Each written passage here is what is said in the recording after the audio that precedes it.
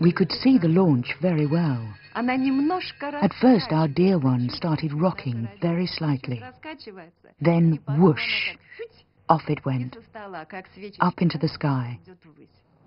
It was incredibly beautiful, particularly for us who'd given so much of themselves to the project.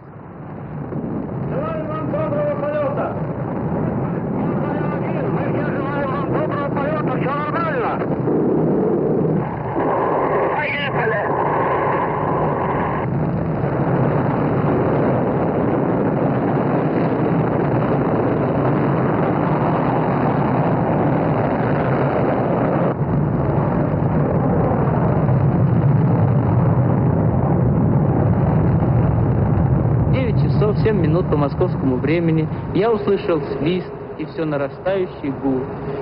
Почувствовал, как гигантский космический корабль задрожал всем своим корпусом и медленно, очень медленно оторвался от стартового устройства.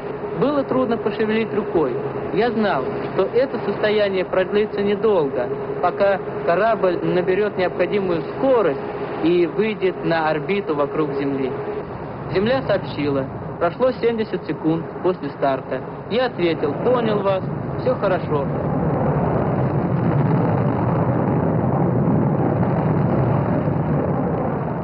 Gagarin circled the Earth. The flight had lasted 108 minutes.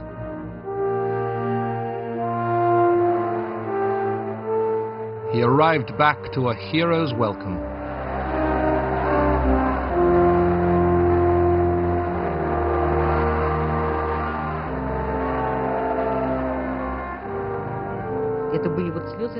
There were tears of joy.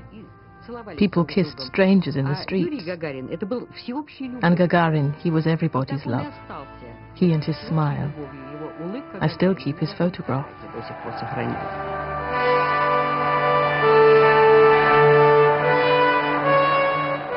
His achievement delighted every Russian and the world.